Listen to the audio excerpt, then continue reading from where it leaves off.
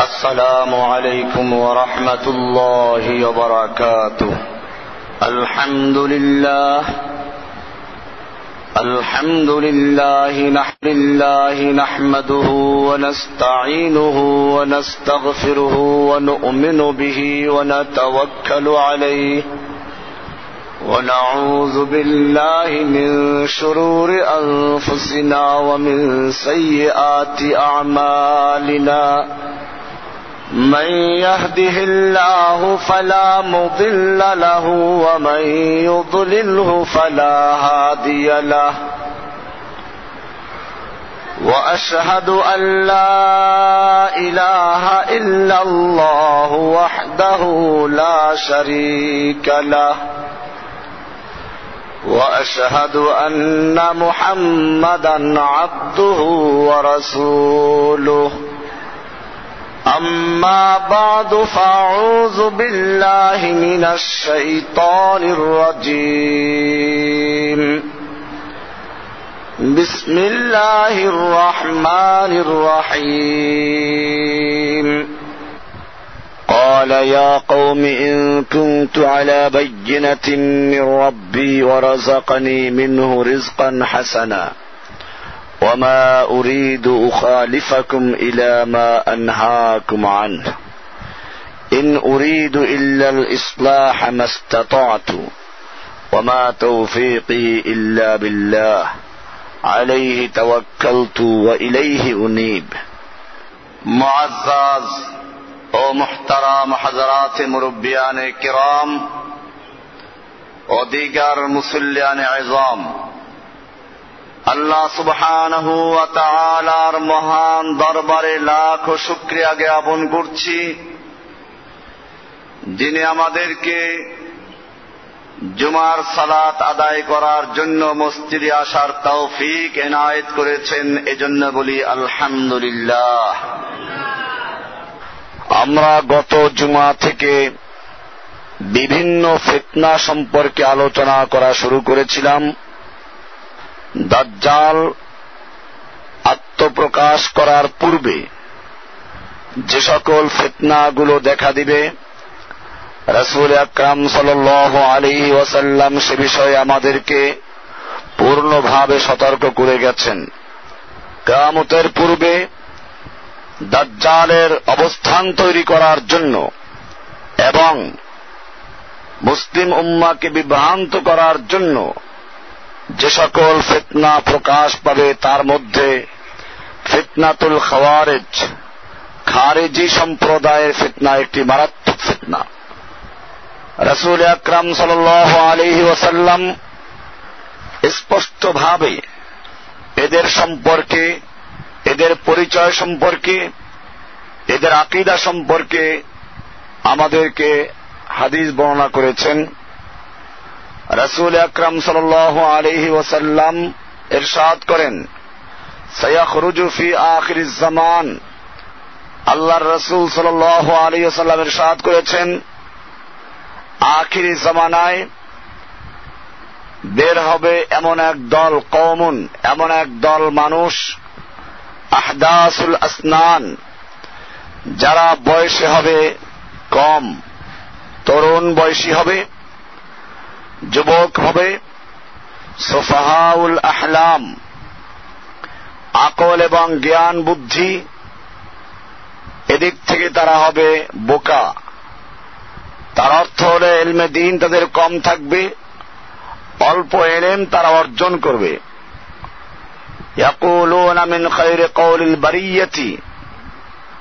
তারা কথা বলবে সবচেয়ে উত্তম কথাগুলো। আল কোরআন তারা কোরআন পড়বে। কিন্তু সে কোরআন তাদের হলকুম অতিক্রম করবে না।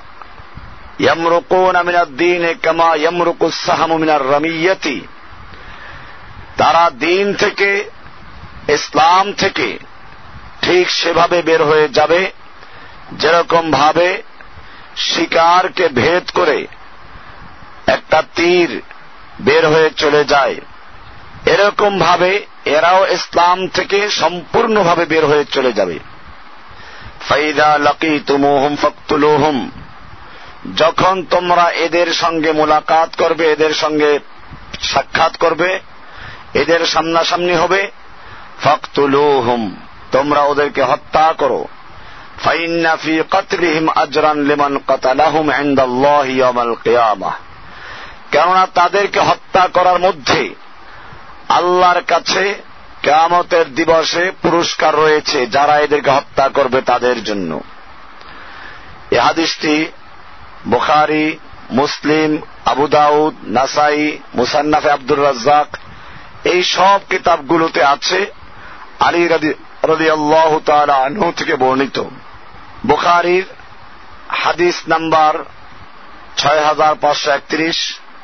মুসলিমের হাদিস নাম্বার এক হাজার ছেষট্টি, মুসান্নাফে আব্দুর রাজ্জাকের আঠারো হাজার ছয়শো সাতাত্তর, আবু দাউদের চার হাজার সাতশো সাতষট্টি, নাসাই শরীফের চার হাজার একশো দুই নম্বর হাদিস।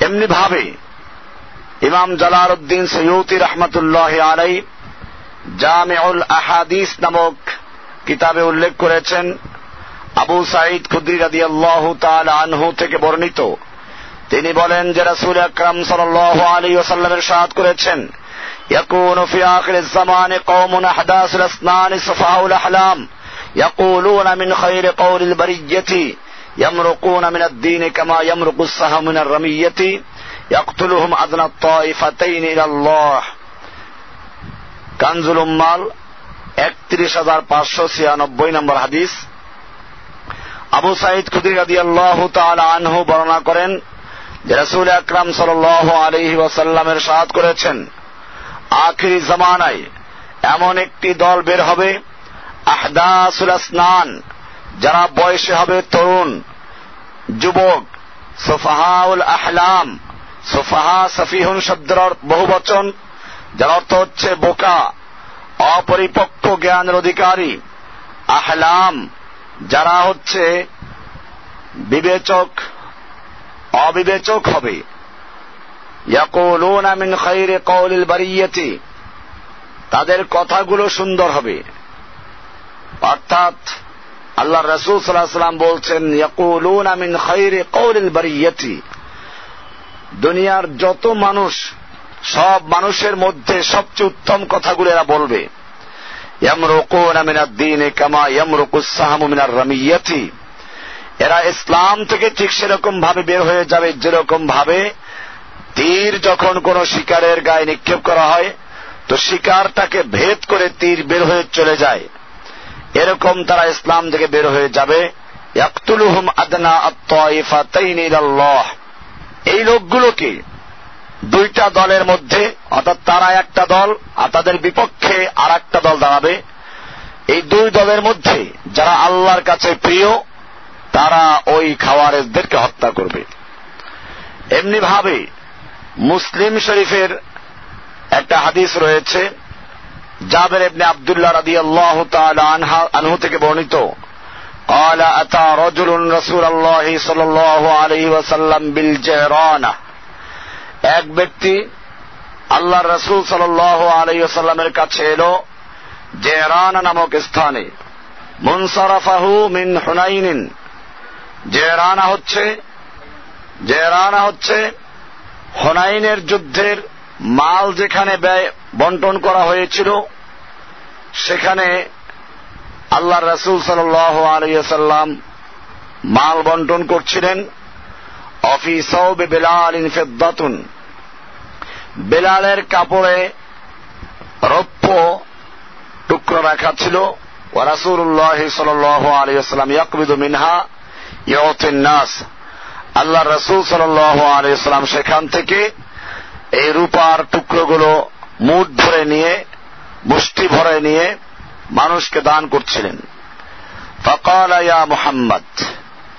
সেখানে ওই লোকটা এসে রাসুল আকরাম সাল আলিয়াল্লামকে উদ্দেশ্য করে বলল, হে মোহাম্মদ, এ আদেল আপনি ইনসাফ করুন, ন্যায়সঙ্গত কাজ করুন। আদিল।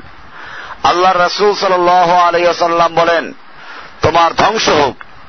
আমি যদি ইনসাফ না করি, তাহলে আর কে ইনসাফ করতে পারে? লকদ খিফতা ওয়া খাসিরতা ইল্লাম আকুন আদিল আমি যদি ইনসাফ না করি তাহলে তো তুমি ধ্বংস এবং তুমি ক্ষতিগ্রস্ত হয়ে গেলে فقال عمر بن الخطاب رضي الله تعالى عنه عمر بن الخطاب رضي الله تعالى عنه বললেন দানি ইয়া রাসূলুল্লাহ ফাআকতুল হাযাল মুনাফিক আমাকে অনুমতি দিন আমি মুনাফিকটাকে কতল করে ফেলি ফাকাল মাআযাল্লাহ আল্লাহ রাসূল আলাইহি সাল্লাম বললেন, আমি আল্লাহর কাছে পানা চাই।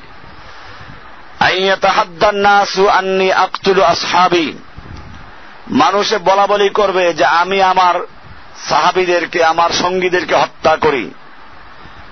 তাহলে বুঝা গেল যে লোক হত্যার উপযুক্ত। কিন্তু আল্লাহ রসুল সাল্লাহ সাল্লাম হত্যা করেন নাই ভিন্ন একটা কারণে। এরপরে আল্লাহ রসুল সাল্লাহ সাল্লাম বললেন ইন্নাহাদা ও আসহাবু। ইয়াকরাউন আল কোরআন। এই লোকটা এবং তার কিছু সঙ্গী সাথী সঙ্গী থাকবে, যারা কোরআন পড়বে। হানাজরাহুম। কিন্তু কোরআন তাদের হলকুম অতিক্রম করবে না। ইয়ামরুকুনা মিনহু কামা ইয়ামরুকু সাহাবু মিনার রামিয়াতি। এরা ইসলাম থেকে ঠিক সেরকম বের হয়ে যাবে, যেরকম ভাবে তীর ভেদ করে বের হয়ে যায় যে তীরটা কোনো শিকারীর গায়ে, শিকারের গায়ে নিক্ষেপ করা হলো। মুসলিম শরীফে এই হাদিসটা আরও অনেক সনদে বর্ণিত রয়েছে এবং প্রায় হাদিসেই কথা বলা হয়েছে। যেমন এই হাদিসটা হজরতে আব্দুর রহমান ইবনে আবি নোয়াইম আন আবি সাইদুল খুদ্রি আদি আল্লাহ তালান থেকে বর্ণিত আছে। তিনিও বলেন, একই ধরনের হাদিস তার মধ্যে একটা অংশ এরকম, আল্লাহ রসুল সাল্লাহ সাল্লাম বললেন ইন্নামিন দি হাদা ইয়াকরাউন আল কোরআন নিশ্চয়ই এই লোকের বংশধর থেকে এমন এক সম্প্রদায় বের হবে, ইয়াকরাউন আল কোরআন যারা কোরআন পড়বে, লা ইউজাভিজু হানাজরাহুম। কোরআন তাদের হলকুম অতিক্রম করবে না। ইয়াকতুলুনা ইসলাম। তারা আহলে ইসলামদেরকে হত্যা করবে, মুসলিমদেরকে হত্যা করবে। তারা মূর্তি পূজকদেরকে, কাফের মুশরিকদেরকে তারা ছেড়ে দিবে। তাদের বিরুদ্ধে এদের কোনো শত্রুতা নেই। এদের শত্রুতা হবে শুধু মুসলিমদের বিরুদ্ধেই। আল্লাহ রসুল সাল্লামের পরে বলছেন মিনার নিশ্চয় তারা ইসলাম থেকে সেরকম ভাবে বের হয়ে যাবে যেরকম ভাবে একটা তীর শিকারকে ভেদ করে বের হয়ে যায়। লাইন আদ্রাক তুহুম আমি যদি এদেরকে পাই লাবতুলান্নাহুম কতলা আদিন, আমি তাদেরকে কতলে আদ আদ সম্প্রদায়কে যেরকম হত্যা করা হয়েছে, আমি ওদেরকে পেলে সেরকম ভাবে হত্যা করব। এই হাদিসটি মুসলিমে আরও এক জায়গায় বয়ান করা হয়েছে। আবু সাইদ খুদ্রি থেকে বর্ণিত, তিনি বলেন, বাস আলী নবী তালিব ইলা রাসূলিল্লাহ সাল্লাল্লাহু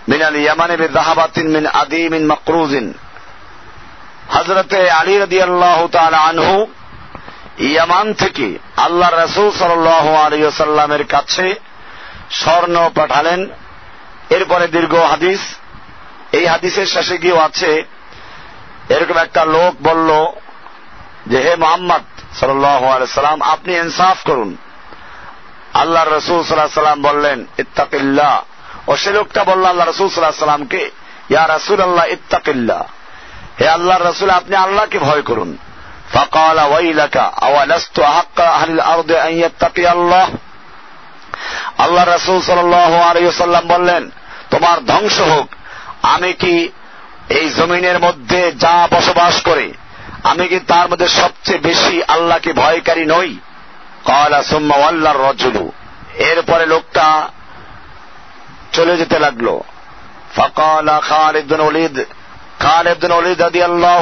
আনহু বলেন ইয়া আলা আমি কি লোকটার গর্দানটা উড়িয়ে দিব না?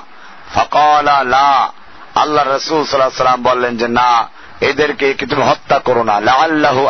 ইউসাল্লি। হতে পারে সে সালাত আদায় করে।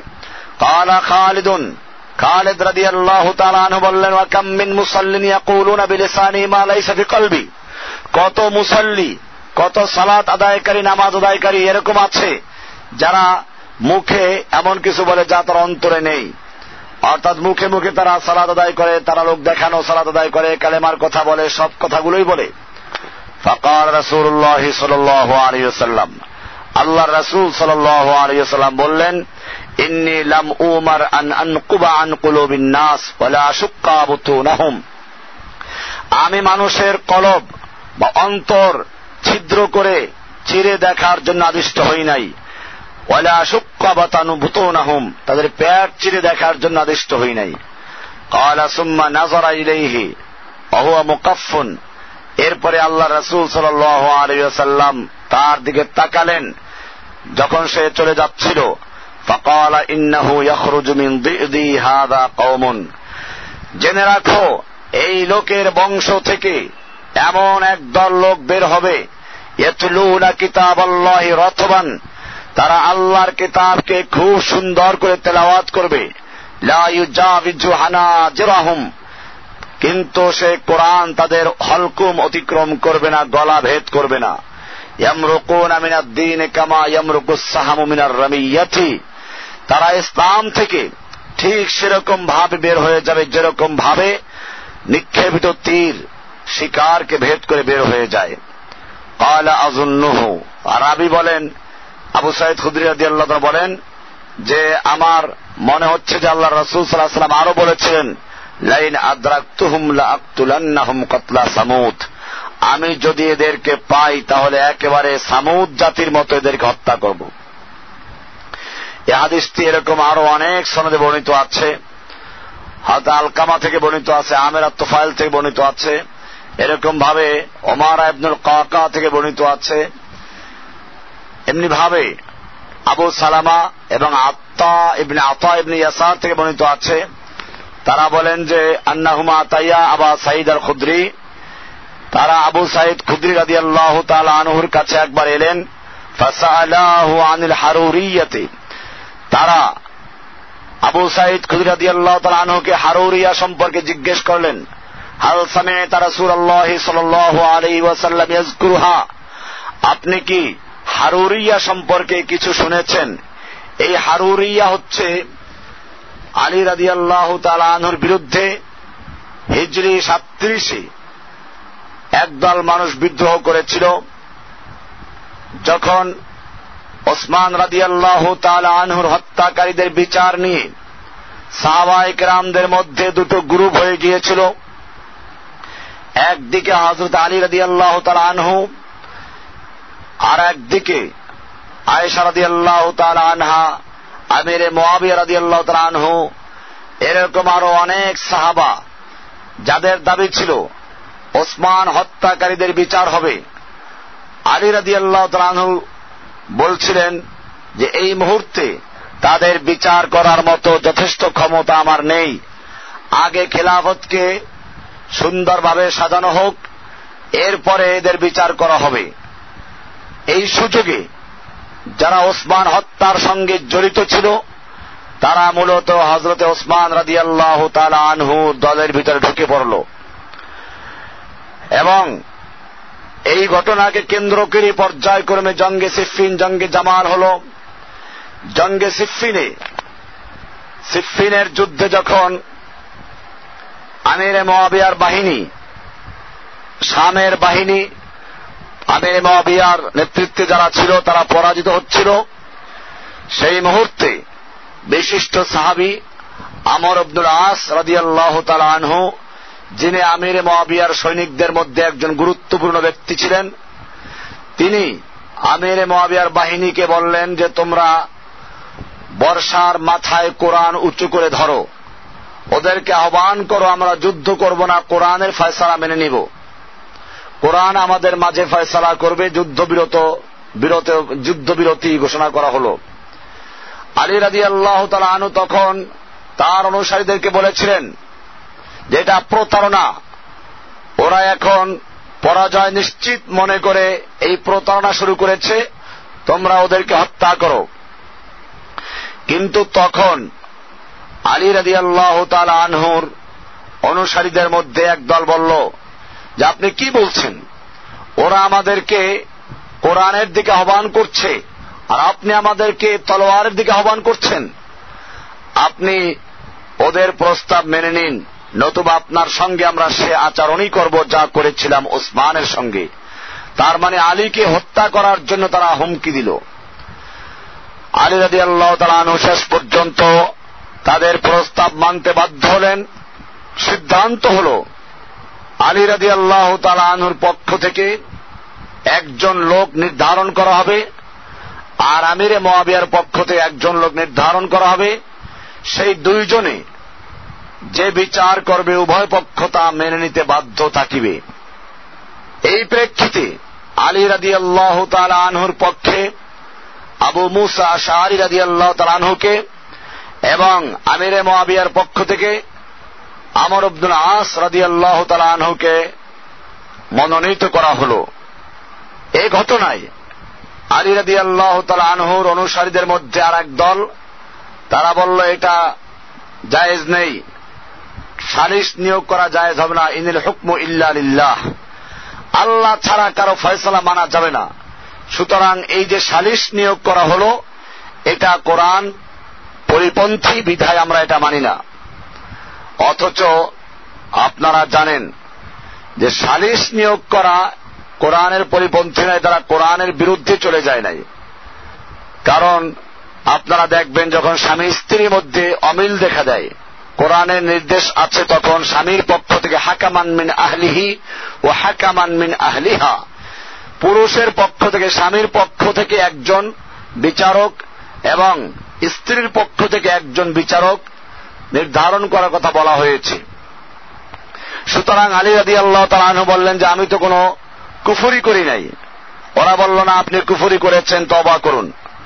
আলী রাদি আল্লাহ তালু তাদের এই প্রস্তাব মানতে পারলেন না। যে কারণে এখান থেকে প্রায় সাড়ে বারোশো লোকের মতো, কোন কোন ইতিহাস অনুযায়ী বারো হাজার লোক হারুরা নামক স্থানে গিয়ে একাত্র হল, বিদ্রোহ করে। এবং এরপরে আলী রাদি আল্লাহ তালু ইবনে আব্বাসকে পাঠালেন তাদেরকে বুঝানোর জন্য। তিনি ব্যর্থ হলেন। পরে আলী রাদি আল্লাহ তালু নিচে গেলেন এবং তাদেরকে বুঝাইয়া, সমঝাইয়া নিয়ে আসলেন। অপেক্ষায় থাকা হল এই দুইজন কি বিচারের ফয়সলা করে? এদেরকে ছয় মাস সময় দেওয়া হয়েছিল। ছয় মাসের মধ্যে তারা দুজন আলোচনা, পর্যালোচনা করে সিদ্ধান্ত উপনীত হয়েছিলেন। জামির মহাবিয়া রাদি আল্লাহ তালার পক্ষ থেকে। আমর আব্দুল আস ঘোষণা করবেন, যে আমি আলী রাদি আল্লাহ তালাহকে খেলাফতের দাবি থেকে বরখাস্ত করলাম। আর আলী রাদি আল্লাহ তালাহুর পক্ষ থেকে আবু মুসা শাহরি ঘোষণা করবেন, আমি আলীকে বরখাস্ত করলাম। এইভাবে দুজনকে অপসারণ করে তৃতীয় একজনকে খলিফাতুল মুসলিমিন নিযুক্ত করা হবে, যাতে করে মুসলিমদের মধ্যে যুদ্ধ এবং দলাদলি বন্ধ হয়ে যায়। খুবই সুন্দর প্রস্তাব ছিল। নির্ধারিত মজলিস একাত্র হল উভয় পক্ষের লোকেরা। সেখানে প্রথমে আলী রাদি আল্লাহ আনহুর পক্ষে আবু মুসা শাহরি রাদি আল্লাহ আনহু দাঁড়িয়ে বললেন যে আমি মুসলিমদের বৃহত্তর স্বার্থের জন্য এবং মুসলিম জাতিকে ঐক্যবদ্ধ করার জন্য আলী রাদি আল্লাহ আনহুকে খেলাফতের দাবি থেকে অপসারণ করলাম। এবারে দ্বিতীয় ব্যক্তি আমর আব্দুল আস দাঁড়িয়ে সিদ্ধান্ত অনুযায়ী আমিরে মোয়াবিয়াকে বরখাস্ত করবেন। কিন্তু সেটা না করে এখানে একটু কুটকৌশল করে তিনি বক্তব্য দিলেন যে যেহেতু খেলাফতের দাবিদার ছিল দুজন, আলী রাদি আল্লাহ আনহু এবং আমিরে মহাবিয়া রাদি আল্লাহ আনহু। আলী রাদি আল্লাহ আনহুকে যখন বরখাস্ত করা হল, এখন আর খেলাফতের দাবিদার দুজন নেই, একজন আছে। সুতরাং একজন খলিফা থাকলে কোনো অসুবিধা নেই। আমিরে মহাবিয়া রাদি আল্লাহ আনহুই খলিফাতুল মুসলিমিন হিসাবে কাজ করবেন। আলী রাদি আল্লাহ আনহু এটা মানতে পারলেন না। কারণ এই এক পেশি, এক চেটিয়া সিদ্ধান্ত, এটা অপ্রত্যাশিত ছিল, এরকম কথা ছিল না। একদিকে আলী রাদি আল্লাহ তালু এটা মানতে পারলেন না আর একদিকে আলী রাদি আল্লাহ তালা আনহুর বিরুদ্ধে যারা আগেই বিদ্রোহ করেছিল, তারা ভালো করে সুযোগ পেয়ে গেল। এই লোকগুলো বলল, আমরা তো আগেই বলেছিলাম আপনি কাফের হয়ে গেছেন। এখন পরিষ্কার যে আপনি কাফের হয়ে গেছেন, সালিশ নিযুক্ত করার কারণে আপনি তবা করে ইসলাম গ্রহণ করুন।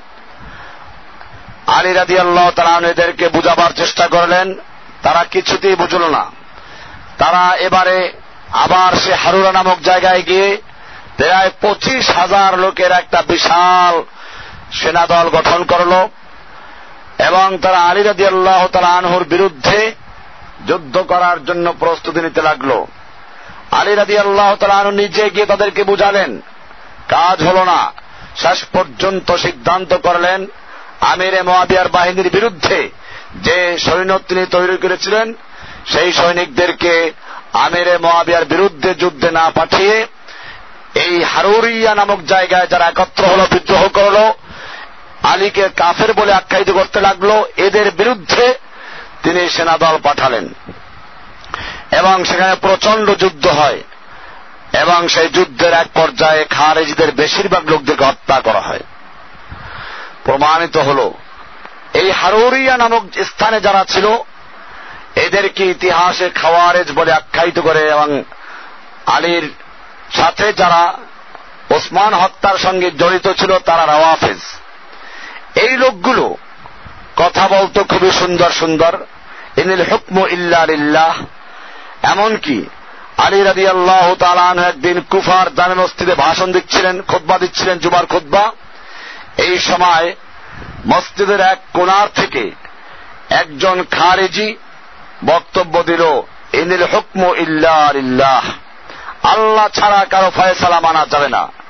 মূলত এটার দ্বারা সে উদ্দেশ্য করল আলী রাদি আল্লাহ তালানহুকে যে আপনি ওই সালিশ নিযুক্ত করে কাফের হয়ে গেছেন। আপনি কেন আল্লাহ ছাড়া অন্যের ফয়সালা মানলেন? আলী রাদি আল্লাহ তালানহু তখন তার সেই ঐতিহাসিক কথা বলেছিলেন। তিনি বলেছিলেন ক্যালিমাতু হাক্কিন উরিদা বিহাল বাতিল। কথা সত্য, তবে উদ্দেশ্য খারাপ। এটাও মুসলিম শরীফের তৃতীয় খণ্ডের সাফা নাম্বার একশো ষোলোতে আছে ওবায়দুল্লাহ ইবনে আবি রাফে থেকে বর্ণিত তিনি বলেন যে আন্নাল হারুরিয়া তালাম্মা খরাজাত অহুয়ামা আলী ইবনে আবি তালিব রাদিয়াল্লাহু তাআলা আনহু قالوا لا حكم الا لله তারা বলল যে লা হুকমা ইল্লা লিল্লাহ ইনিল হুকম ইল্লা লিল্লাহ আল্লাহ ছাড়া কারো হুকুম মানা যাবে না এই স্লোগান দিল قال علي رضي الله تعالى عنه كلمة حق أريد بها البا بها باطل আলী রাদি আল্লাহ তালানু বললেন যে কথাটা সত্য তবে তাদের উদ্দেশ্য বাতিল ভ্রান্ত ইন্ন রাসুল আল্লাহ সাল্লাহ আলিয়াল্লাম ওসাফা নাসান আল্লাহর নবী রসুল সাল্লাহ সাল্লাম তিনি কিছু লোকদের বৈশিষ্ট্য বয়ান করেছেন আমি সেই লোকদের বৈশিষ্ট্যগুলো এই সম্প্রদায়ের মধ্যে দেখতে পাচ্ছি। আল্লাহ রসুল সাল্লাহ সাল্লাম বলেছেন তারা মুখে সত্য কথা বলবে মিনহুম কিন্তু তাদের সেই কথাগুলো তাদের এর বেশি অতিক্রম করবে না। এই কথা বলে গলার দিকে, হলকুমের দিকে তিনি ইঙ্গিত করলেন। এরপরে আল্লাহ রসুল সাল্লাহ সাল্লাম বললেন মিন আবগাদে হলকিল্লাহ এরা আল্লাহর মাখলুকের মধ্যে সবচেয়ে ঘৃণিত মাখলুক এরকম ভাবে এই হারুরিয়া সম্পর্কে হাদিসে বলা হয়েছে আল্লাহ রসুল সাল্লামের সম্পর্কে আরো বলেছেন আনসাল ইবনে হুনাইফিন আন নবী সাল্লাল্লাহু আলাইহি ওয়াসাল্লাম قال يتيه قوم قبل المشرق পূর্ব দিক থেকে একদল মানুষ বের হবে। মুহাল্লাকাতুন রুউসুহুম, তাদের মাথা মুন্ডানো থাকবে। এরকম ভাবে ইউসাইর ইবনে আমর থেকে বর্ণিত কলা সাহাল তু সাহাল ইবনে হনাইফিন, আমি সাহাল ইবনে হনাইফ রাদি আল্লাহ আনহু থেকে শুনে জিজ্ঞেস করেছি, হাল সামেতা ইয়াজকুরুল হাল সামেতা নবী আলাইহি সাল্লাম ইয়াজকুরুল খাওয়ারিজ, তুমি কি আল্লাহ রসুল আলাইহি সাল্লামকে খাওয়ারেজদের সম্পর্কে কিছু আলোচনা করতে শুনেছ? ফকাল সামেতুহু। হ্যাঁ আমি আল্লাহ রসুল সাল্লাহ সাল্লামকে বলতে শুনেছি। ও আশার আবিয়াদিহি নাহবাল মশরেক। আল্লাহ রসুল সাল্লাম পূর্ব দিকে ইঙ্গিত করে বললেন কমন ইয়াকরাউন আল কোরআন আবি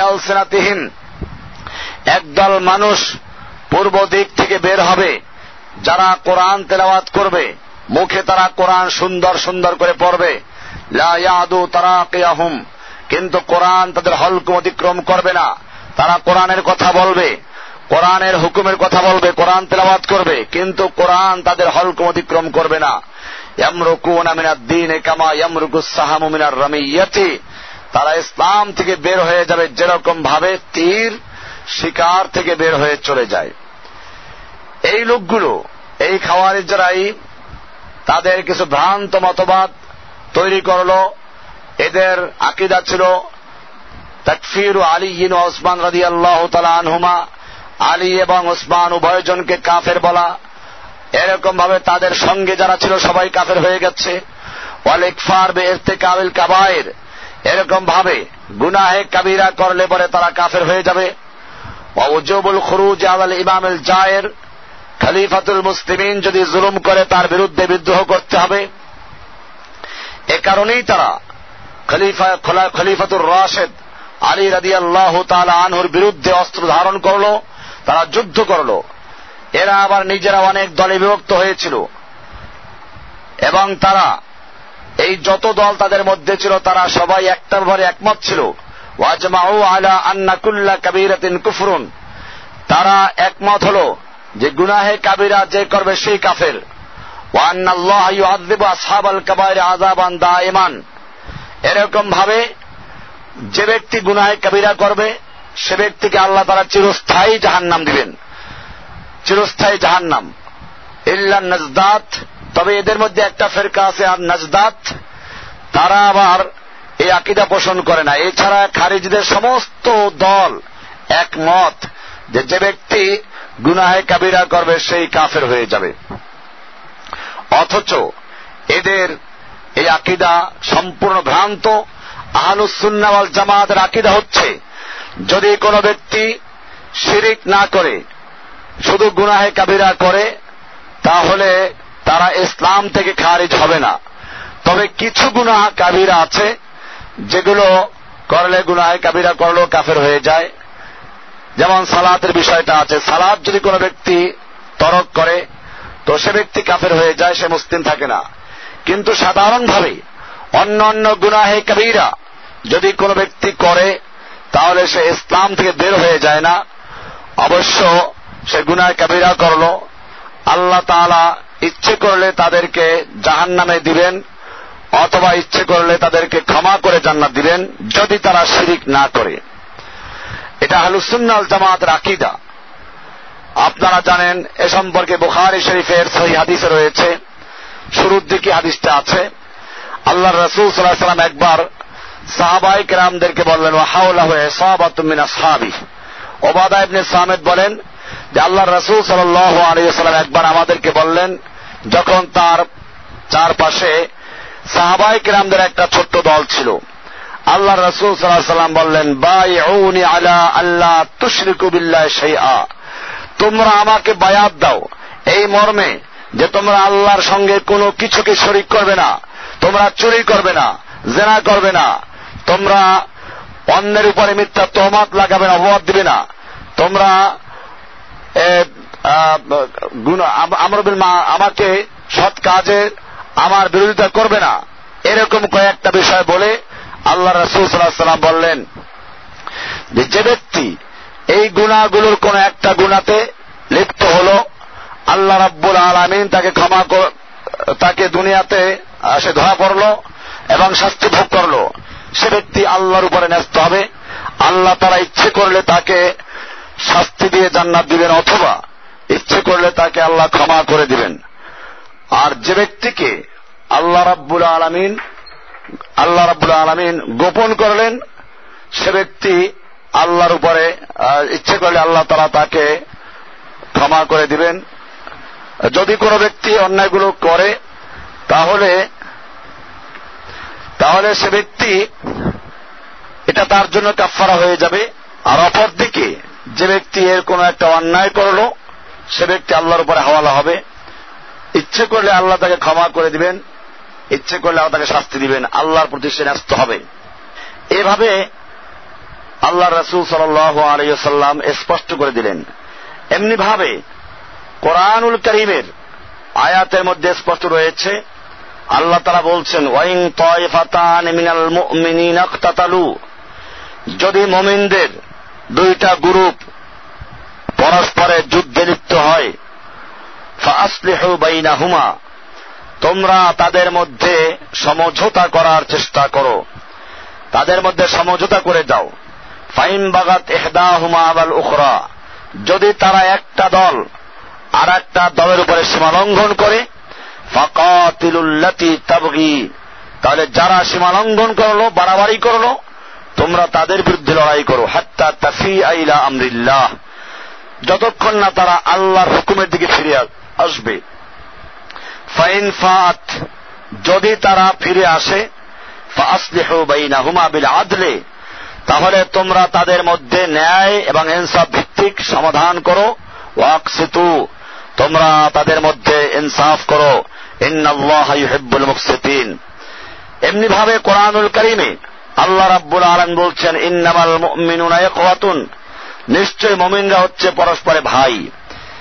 ফাসলিহু তোমরা তোমাদের ভাইদের মধ্যে সমঝোতা করো। অত্তাকুল্লাহ লাআল্লাকুম তুরহামুন। তোমরা আল্লাহকে ভয় করো, তবেই তোমরা আল্লাহর রহমত প্রাপ্ত হবে। সুরায় হুজরাতের নয় এবং দশ নম্বর আয়াত। এই আয়াতগুলোতে দেখা গেল, যে লোকগুলো পরস্পরে যুদ্ধ করছে এরপরে আল্লাহ তারা বলছেন মিনাল মুমিনিনাকতাতালু মমিনদের দুইটা গ্রুপ যদি যুদ্ধে লিপ্ত হয়, অথচ যুদ্ধ করা, মমিনদের বিরুদ্ধে লড়াই করা গুনায় কাবিরা এরপরেও আল্লাহ রাব্বুল আলমিন এখানে বলছেন যে মমিনদের দুইটা গ্রুপ যদি যুদ্ধ করে, এতে বোঝা গেল যে যুদ্ধ করা গুনায় কাবিরা তা সত্ত্বেও তারা মমিন থেকে যায়, কাফের হয়ে যায় না। কাজটা গুনায় কাবিরা। কিন্তু খাওয়ারেজদের বক্তব্য হচ্ছে, গুনায় কাবিরা করলেই কাফের হয়ে যায়। এমনি ভাবে মুসলিম শরীফে আবু সাইদ খুদ্রি থেকে আর একটা হাদিস বর্ণিত আছে, আন্না রাসুল আল্লাহ সাল আলী সাল্লামা কল ইয়াদখুলু আহলুল জান্নাতে আল জান্নাতা। ইয়াদখুলু আহলুন নার নার। আল্লাহর রাসূল সাল্লাল্লাহু জান্নাতে প্রবেশ করবে। আল্লাহ তারা যাকে ইচ্ছা তাকে তার রহমতে জান্নাতে প্রবেশ করাবেন। অপরদিকে জাহান্নামীরা জাহান্নামে প্রবেশ করবে। সুম্মা ইয়াকুলু, এরপরে আল্লাহ তারা বলবেন, উনজুরু মান ওয়াজাদতুম ফি কলবিহি। মিসকাল হাব্বাতিন মিন খারদালিন মিন ঈমান ফাখরিজুহু। তোমরা যাকে দেখো, যার মধ্যে একটা সরিষা দানা বরাবর ইমান পাবে, তাকেও তোমরা বের করে নিয়ে আসো। তাহলে এতে বোঝা যায় যে, যদি কোনো ব্যক্তি গুনায় কাবিরা করে যে কারণে জাহান্নামে হয়েছে, তাকেও জাহান্নাম থেকে মুক্ত করার জন্য সুপারিশ করা হবে, অথচ খাওয়ারেজ এবং রাফেজি এদের বক্তব্য হল জাহান নামে যে একবার যাবে, সে চিরস্থায়ী জাহান জাহান্নামি হবে। গুনায় কাবিরা করলে সে আর জাহান্নাম থেকে মুক্তি পাবে না।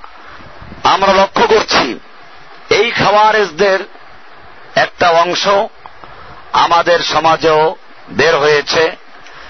যারা হাদিস অনুযায়ী আমরা তাদেরকে দেখতে পাচ্ছি, তাদের সেই বৈশিষ্ট্যগুলো সবই পাওয়া যায়। একদিকে তারা কম বয়সী যুবক, যেমন আমরা দেখতে পাচ্ছি বাড্ডার থেকে কিছু খারেজি, লালবাগের থেকে কিছু খারেজি, মিরপুর থেকে কিছু খারেজি বের হয়েছে ঢাকার। বাড্ডার ইকবাল নামে একটা খারেজি, মিরপুরের নাফিস নামে এক খারেজি। এরকম ভাবে কিছু খারেজি আমাদের মুসলিম যুবকদের মাঝে এ আকিদা ছড়াচ্ছে যে যারাই বেদাত করে, তারাই কাফের। এমনকি যারা মাঝহাবি বিষয়গুলো আছে, যেমন রাফলিয়া দাইন করা, আমিন জোরে বলা, এগুলো যারা না করে তারাও কাফের। বিষয়টা অনেক গুরুত্বপূর্ণ। এটা আমরা লক্ষ্য করছি। ইসলামের মধ্যে বিভিন্ন ফেরকা তৈরি হয়ে গেছে। অবশ্য ফেরকা তৈরি করা ইসলামে সম্পূর্ণ নিষিদ্ধ। কোরআনুল কারিমের সম্পর্কে অনেকগুলো আয়াত আছে। কিন্তু এই ফেরকাগুলোর কিছু বিষয় আছে আকিদা সম্পর্কীয়, আর কিছু আছে ফেকার মাস্তা সম্পর্কীয়। বিভিন্ন হাদিসের ভুল বোঝার কারণে বা তাবিল করার কারণে এদের মধ্যে এই ফেরকাগুলো তৈরি হয়ে গেছে। যে কারণে আমরা দেখতে পাচ্ছি, একদল মানুষ হানাফি যারা সালাত আদায় করার সময় তারা ফলি আদায় করে না রুকুর আগে রুকুর পরে আমিন জোরে বলে না, বুকের উপরে হাত বাঁধে না। অন্য ইমামদের বক্তব্য হচ্ছে হ্যাঁ এগুলো করতে হবে। আমরাও জানি সাহি হাদিস অনুযায়ী বর্তমানে আমাদের সামনে যে হাদিসগুলো আছে, তাতে আমরা দেখি যা রফলি আদায়ন করা, রুকুর আগে রুকুর পরে হাদিসগুলো সহি। এরকম ভাবে আমিন জোরে বলার হাদিস সহি। অপরদিকে যারা এগুলো করেন না, তারাও কিছু হাদিসের কারণে এই আকিদা, এই বিষয়গুলো আমল করেন না। তারা বলেন যে হাদিসগুলো সহি। তবে ইসলামের শুরু দিকে ছিল, পরে মানসুখ হয়ে গেছে। তারা আবদুল্লাহ বিন মাসউদের একটা হাদিস জাবুদাউদেও আছে, হাদিস দ্বারা দলিল পেশ করেন। আমি সেই বিতর্কে জড়াতে চাচ্ছি না। আমি যেটা বলতে চাই সেটা হচ্ছে এই, যারা রফলিয়া দান করেন না, তারা এজতেহাদি ভুল করে হয়তো এগুলো করেন না। আমিন জোরে বলেন না এজতেহাদি ভুল করে, আমি ভুল বলতে পারি। ভুল করে এটা করেন না। আর আল্লাহ রসুল সাল্লাহ সাল্লাম তো বলেছেন যেটা মুসলিম হাদিসে বলা আছে এটা এজতাহাদ আল হাকিম। যদি হাকিম কোন ইজতেহাদ করে, বিচারক কোন ইজতেহাদ করে, এবং সে বিচার করতে গিয়ে সে ভুলও করে ফাখতা সে ভুল করে বসে, তো তাতেও সে একটা আজর পাবে সব পাবে। ফালাহু আজরুন, আর যদি সে সহিভাবে করে, তাহলে সে ডবল উজরাত পাবে। তাহলে এরকম ভাবে যদি কোনো ব্যক্তি ভুল করে এজতেহাদি কারণে। তাহলেও তাকে কাফের বলা যায় না। ভুল করেছে বলা যায়। কোন ব্যক্তি ভুল করল অজ্ঞতার কারণে, এবং সে অজ্ঞতার একটা ভিত্তি আছে। অমূলক না, অজ্ঞতা দূর করার ব্যবস্থা আছে, এরকম না। অজ্ঞতার কারণে ভুল করে বসে, তাকেও তাকফির করা যায় না। যেমন আপনারা জানেন, একটা হাদিসে বলা হয়েছে, এক ব্যক্তি মৃত্যুর আগে তার সন্তানদেরকে ওসিয়াত করে গেল। আমি যদি মরে যাই, তোমরা আমাকে আগুনে পোড়াবে। এরপরে ছাইগুলোকে পিষে, সম্পূর্ণ পিষে ফেলবে, এরপরে দুইটা অংশ করবে। এক অংশ বাতাসে উড়িয়ে দিবে, আর এক অংশ পানির সঙ্গে মিলিয়ে দিবে। কারণ যদি আল্লাহ আমাকে ধরতে পারেন, তাহলে এমন শাস্তি দিবেন যা অন্য কাউকে দিবেন না এজন্য তোমরা এই কাজটা করবে। তার সন্তানরা তাই করল। তার মৃত্যুর পরে তাকে আগুনে পোড়ালো। এরপরে ছাইগুলোকে পিষে ফেলল। এরপরে এক অংশ তারা আগুনে মিশিয়ে দিল বাতাসে উড়িয়ে দিল। আর এক অংশ তারা পানিতে মিশিয়ে দিল। আল্লাহ সুবাহ এবারে বাতাসকে বললেন স্থলকে বললেন, তুমি তোমার অংশ ফেরত দিয়ে দাও। আর অপর দিকে পানিকে বললেন, তুমি তোমার অংশ ফেরত দাও। লোকটাকে আল্লাহ তারা জীবিত করে জিজ্ঞেস করবেন, তুমি এই কাজটা কেন করেছিলে? সে বলবে, আল্লাহ, আমি তো তোমার ভয়ই করেছি। আল্লাহ রসুল সাল্লাহ সাল্লাম বলছেন যে, ফাগফার আল্লাহু আল্লাহ তালা তাকে ক্ষমা করে দিবেন। এই যে লোকটা যে কাজটা করল, তার সন্তানদেরকে ওসিয়াত করল, যে আমাকে যদি আল্লাহ তারা ধরতে পারে, তাহলে এমন শাস্তি দিবেন যে আর কাউকে দিবেন না। অথচ এর দ্বারা আল্লাহর কুদরাতকে, আল্লাহর শক্তিকে অস্বীকার করা হলো যে ছাই করে ফেললে আল্লাহ ধরতে পারবেন না। এর দ্বারা কাফের হয়ে যাওয়ার কথা।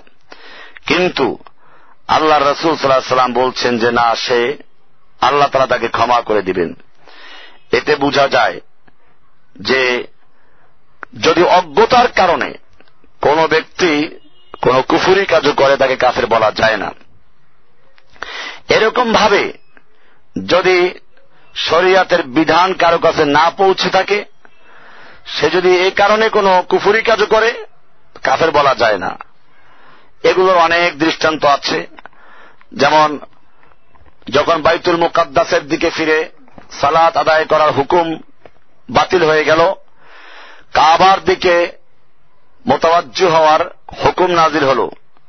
এরপরেও একদল লোক দেখা গেল যে বাইতুল্লাহর দিকে নামাজ পড়ছিল না, পড়ছিল বাইতুল মুকাদ্দাস দিকে ফিরে। সাহাবিরা যখন এটা দেখলেন, তখন তাদেরকে বললেন, আরে, তোমরা তো সর্বনাশ করছ, কেবলা পরিবর্তন হয়ে গেছে। সঙ্গে সঙ্গে তারা ঘুরে গেলেন। তাহলে এর আগ পর্যন্ত, না জানা পর্যন্ত তারা যে কাবার দিকে ফিরে নামাজ পড়ে নাই, অথচ কাবার হুকুম নাজর হয়ে গেল। তো তারা কি কাফের হয়ে গেছে? না, এজন্য যেহেতু তাদের কাছে হুকুম পৌঁছে নাই। এমনি ভাবে যদি কোন ব্যক্তি কোন ভুল বুঝার কারণে নসের বা দলিল কোরআন হাদিসের কোন দলিলকে ভুল বুঝার কারণে অথবা কোন তাবিল করার কারণে ভুল করে থাকে, তাহলে তাকেও তাকফির করা যায় না। যেমন আদি ইবনে হাতেমের হাদিস, তিনি বলেন যে কোরআনের আয়াত যখন নাজিল হল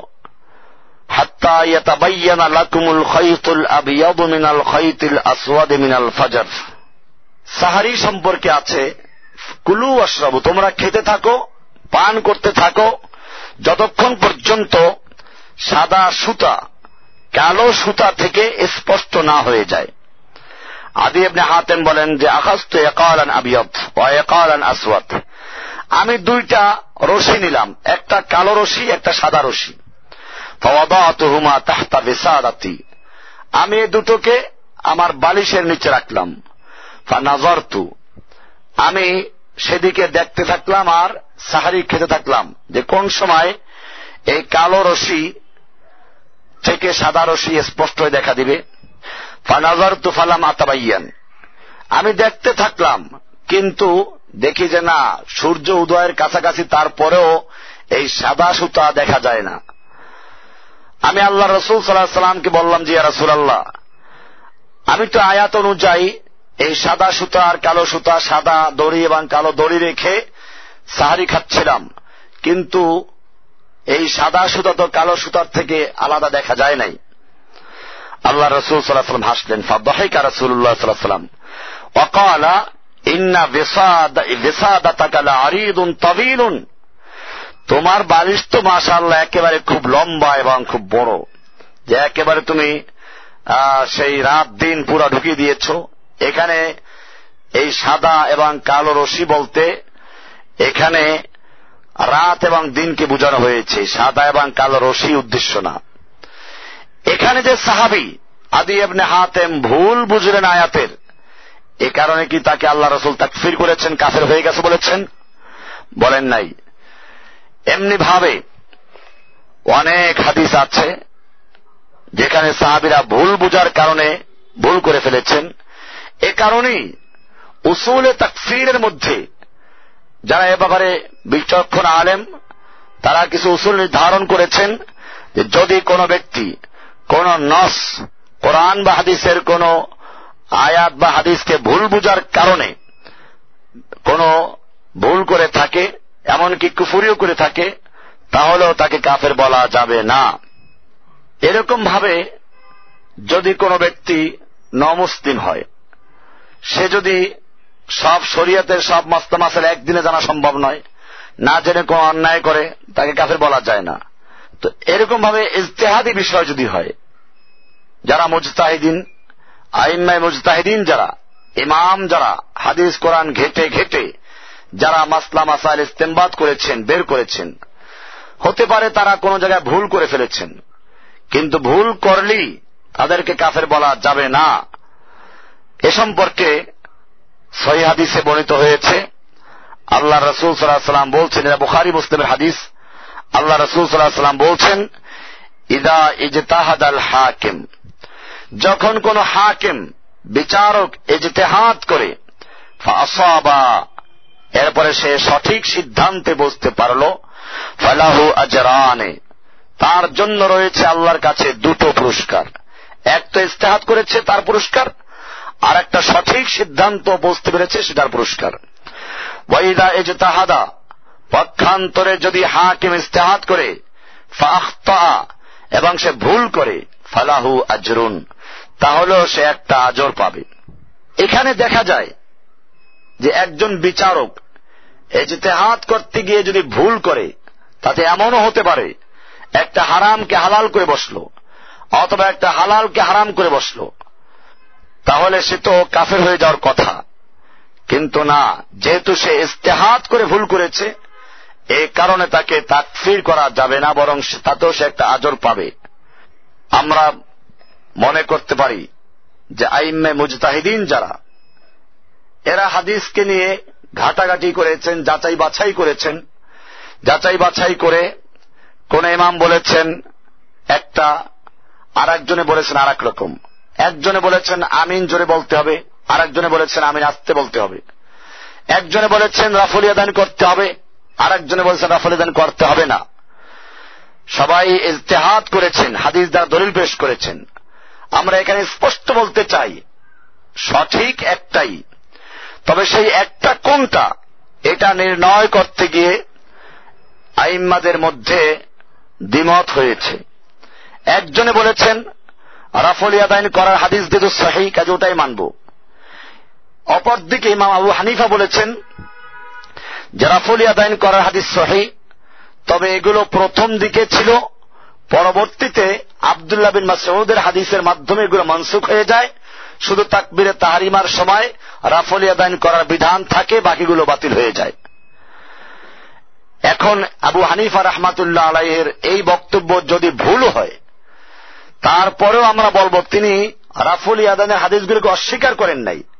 আপনি কথা বলতে পারবেন না যে তিনি যেহেতু রাফুল ইয়াদের হাদিস সহি, এই হাদিসগুলোকে অস্বীকার করেছেন, কাজী কাফের হয়ে গেছেন। এটা বলা যাবে না, কারণ তিনি হাদিসকে অস্বীকার করেন নাই। তিনি আল্লাহ রাসুল সাল হাদিসকে সহি বলেছেন, এবং হাদিসকে মানতে হবে। তবে তিনি একটা ব্যাখ্যা করেছেন যে হাদিসগুলো মানসুখ হয়ে গেছে, রহিত হয়ে গেছে, অন্য একটা হাদিস দিয়ে। তাহলে আল্লাহ রাসুলের হাদিসকে তিনি উপস্থাপন করছেন। এখন যদি তিনি ভুলও করে থাকেন, সেই ভুলটা হচ্ছে ভুল, ইস্তেহাদি ভুল। এই কারণে তাকে তাকফির করা যাবে না। বা যারা এরকম এই মাঝাবের অনুসরণ করছে, তাদেরকে তাকফির করা যাবে কাফের বলা যাবে না। আমাদের পূর্ববর্তী আলেমরা, সালাফরা, কেউ তাদেরকে তাকফির করে নাই, কাফের বলেন নাই। কিন্তু আমরা বর্তমানে দেখতে পাচ্ছি, একদল মানুষ, যুবক, যারা এরকম ভাবে যারা কিছু বেদাত করে, তাদেরকে তাকফির করে। আমরা পরিষ্কার বলতে চাই যে, একটা হচ্ছে এই যে আকিদাগত ভাবেই সে বেদাত করে। বেদাতটাকে সে তৈরি করে, এই বেদাতটাকে এস্টাবলিশ করার জন্য সে যুক্তি বেশ করে, দলিল বেশ করে। সেটা ভিন্ন বিষয়। আর একটা হচ্ছে, না বুঝে অথবা কোন দলিলকে ভুল বুঝার কারণে বেদাতে লিপ্ত আছে। আর দলিলের ভিতরে সেই ভুল বোঝার সুযোগও আছে। এরকম যদি বিষয়টা হয়, অথবা আমলগতভাবে সে বেদাত করছে। সে জানে এগুলো বেদাত, এটা ভুল। এরপরেও কৌশলগত কারণে, হয়তো দাওয়াতের স্বার্থের কারণে আমাদের বাংলাদেশে আমরা লক্ষ্য করছি, যখন আপনি তাও হেদের কথা বলবেন, যদি দেখে যে আপনি রাফলিয়া দান করছেন, আমিন জোরে বলছেন, এদেশের মানুষ যেহেতু হানাফি মাঝহের অনুসারী সঙ্গে সঙ্গে তারা বলবে, লোকটা হালে আদিস এর কথা শোনা যাবে না, সে ভিন্ন দলের লোক। এ কারণে কেউ হয়তো তৌহিদের দাওয়াত দেওয়ার জন্য হানাফি স্টাইলে সালাদ আদায় করল, কিন্তু সে জানে যে রাফুল ইয়াদের হাদিসগুলো সহি, এটা মানা উচিত, এবং সে যখন সুযোগ তখন সে এগুলো আমলও করে। হেকমার কারণে, কৌশলগত কারণে মাঝে মধ্যে সে হয়তো আমল করে না। এজন্য তাকে তাকফির করা। এরকম ভাবে কেউ বেদাতি কোনো কাজে লিপ্ত আছে। তাকে কাফের বলা, তার পিছনে সালাদ আদায় করা যাবে না। এরকম ফতুয়া প্রদান করা, এটা আসলাফদের মধ্যে, সালাফদের মধ্যে কেউ করেন নাই। একমাত্র খারেজি এবং রাওয়াফেজরাই এই ফতুয়া দিয়েছে।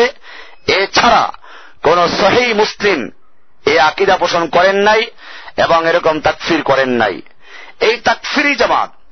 এদের কাজই হচ্ছে মুসলিমদেরকে কাফের বলা এবং যে সমস্ত মুসলিমরা দুনিয়াতে হকের পক্ষে বাতিলের বিরুদ্ধে লড়াই করছে, তাদেরকে তাকফির করা। আমি দেখেছি, এই আমাদের এইখানে যে খুচরা কিছু খাওয়ারেজ আমি যাদেরকে চিহ্নিত করেছি, এই খাওয়ারেজগুলো মুজাহিদিনদেরকেও কাফের বলে, তালেবানদেরকে কাফের বলে। যারা আমেরিকার বিরুদ্ধে, রাশিয়ার বিরুদ্ধে আজকে দুনিয়াতে লড়াই করছেন ইসলামের জন্য। তারা কাফের কি জন্য? কয়ে যে তারা মাঝহাব মানে হানাফি মাঝহাব মানে এই জন্য তালেবানরা কাফের। এই লোকগুলোর সব চেষ্টা, প্রচেষ্টা, দাওয়াত, মেহনাত সব হল এই মুসলিমদের বিরুদ্ধে মুজাহিদিনদের বিরুদ্ধে। আর যারা হকের কথা বলে না, যারা ইসলামের জন্য জেহাদের কথা বলে না যারা কোরআন সুন্নার সহি কথা বলে না, যারা একেবারে বেদাতে লিপ্ত, এখানে বেরলবি আছে, এখানে মাঝভান্ডারি আছে, আটরসি আছে, দেওয়ানবাগি আছে, চন্দ্রপাড়া আছে, সুরেশ্বর আছে, এরকম ভাবে যেই সব ভণ্ড, যে সমস্ত বেদাতিগুলো আজকে সমাজে ছেয়ে আছে, তাদের বিরুদ্ধে এদের কোনো বক্তব্য নেই। এদের বক্তব্য হল যেখানে হকের কথা বলা হয় সেইখানে যারা তাদের মধ্যে পিছনে লেগে থাকে, কি দোষ বের করা যায়, এদের পিছনে কি দোষ বের করা যায়, এইগুলো চেষ্টা করে। এমন কি আমরা যারা কোরআন হাদিসের কথা বলি, সহি কথা বলি, আমাদের বিরুদ্ধেও এই লোকগুলো সবসময় তৎপর কি দোষ বের করা যায়। মূলত এরা একদিকে আকিদাগত খাওয়ারেজ, আর একদিকে এহুদি খ্রিস্টানদের দালালি করার জন্য, এদের জাসুস, এদের গোয়েন্দা হিসাবে কাজ করার জন্য এদেরকে মাঠে নামানো হয়েছে।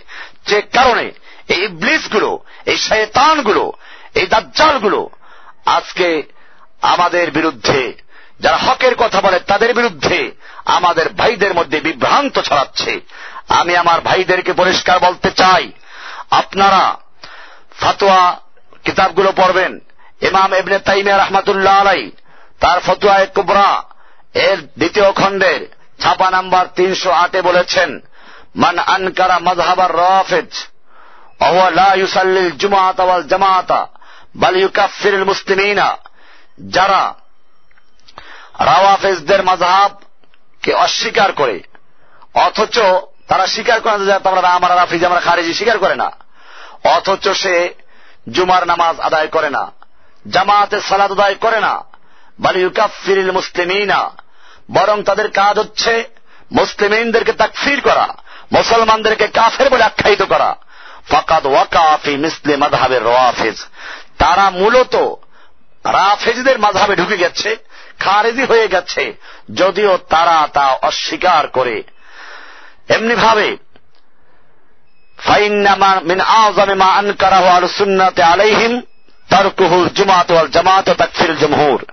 কেননা রাওয়াফেজ এবং মোতা এবং খাওয়ারেজ এদের সবচেয়ে বড় যে লক্ষণ তা হচ্ছে যে তারা আহলুসুন্নাওয়াল জামাকে তারা তাকফির করে, তারা জুমা এবং জামাত অংশগ্রহণ করে না, তারা জমহুরের মুসলিমদের পক্ষে তারা কাজ করে না, বরং তারা মুসলিমদের বিরুদ্ধে লড়াই করে, মুসলিমদেরকে তাকফির করে।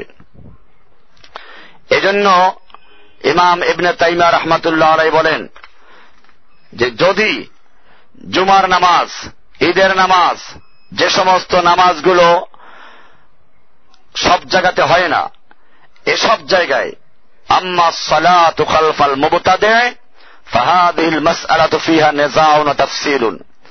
ইমাম ইবনে তাইমা রহমাতুল্লাহ আলাই তার প্রসিদ্ধ কিতাব মজমুল ফতাওয়া, এই কিতাবের তেইশ নম্বর খণ্ডের সাফা নাম্বার তিনশো পঞ্চান্নতে উল্লেখ করেছেন যে বেদাতির পিছনে সালাত আদায় করা সম্পর্কে মাসালা হচ্ছে এই, যে ফাইদা লম তাজিদ ইমামান গৈরাহু যদি তুমি অন্য ইমাম না পাও, কাল জুমাতিল্লাতি লা তাকুমু মাকানিন ওয়াহিদিন, যেমন জুমার সালাত। এটা সব জায়গায় জুমার সালাত কায়েম হয় না। ওয়াকা সালাতিল ঈদাইনে, এরকম ঈদের সালাত। ওয়াকা সালাওয়াতিল হজ্জে, হজের সালাত, খালফা ইমামিল মৌসিম। হজের সময় যে ইমাম নিয়োগ করা হয়, এরা যদি বেদাতিও হয়, তবুও তাদের পিছনে সালাত আদায় করবে, যদি বেদাত মুক্ত ইমাম না পাওয়া যায়। পরিষ্কার হয়ে গেল, আবদুল্লাহ ইবনে ওমরের যে হাদিসটি, যেখানে বলা হয়েছে, আবদুল্লাহ ইবনে ওমর রাদি আল্লাহ আনহু একবার এক মসজিদে সালাদ আদায় করার জন্য গেলেন। তো সেখানে গিয়ে দেখলেন যে সেখানে তসবিব অর্থাৎ আদানের পরে আবার লোকদেরকে ডাকা হচ্ছে তাসবিব করা হচ্ছে। আবদুল্লাহ বিন অমর রাদি আল্লাহ মূলত সে সময়টায় চক্ষু অন্ধ হয়ে গিয়েছিল। তার সঙ্গে যে ছিল তাকে বললেন যে, উখরুজ বিনামিন হাদ আল মুবতাদে, আমাদেরকে এই বেদাতি মসজিদ থেকে নিয়ে অন্যত্র চলো। সেখান থেকে বের হয়ে গেলেন সালাদ আদায় করলেন না। কোন রেওয়ায়ত আছে, তিনি ওই বেদাতির গায়ে পাথর মারলেন। কিন্তু এখানে মনে রাখতে হবে, এই হাদিসটা দিয়ে এই খাওয়ারেজরা আমাদের সরল, সিধা ভাইদেরকে বিভ্রান্ত করছে। যে আবদুল্লাহ বিন মাসুদ রাদি আবদুল্লাহ বিন অমর রাদি আল্লাহ তালা আনহু, তিনি এই বেদাত ইমামকে পাথর মেরেছেন এখানে সালাত আদায় করেন নাই। এটা মনে রাখতে হবে। আবদুল্লাহ বিন অমর রাদি আল্লাহ তালানুর সময় সব জায়গায় বেদাত ছিল না। সে কারণে তিনি ভালো মসজিদ পেয়েছেন, জানতেন এ কারণে বেদাতি মসজিদ থেকে চলে গেলেন। আমরাও বলি, এখনও যদি বেদাত মুক্ত মসজিদ পাওয়া যায়, তাহলে কেন তুমি বেদাতি মসজিদে নামাজ পড়বে? বেদাত মুক্ত মসজিদই চলে যেতে হবে। আর যদি বেদাত মুক্ত মসজিদ না পাওয়া যায় সেক্ষেত্রে ইমামদের ফতুয়া হচ্ছে, এই বেদাতের পিছনে সালাদ আদায় করবে, তারপরেও যেন জামাত না তরফ করে। আবদুল্লাহ বিন অমর রাজি আল্লাহ তালানহু ওই বেদাতিকে পাথর মেরেছেন, কিন্তু তাকে তো তাকফির করেন নাই, কাফের বলেন নাই।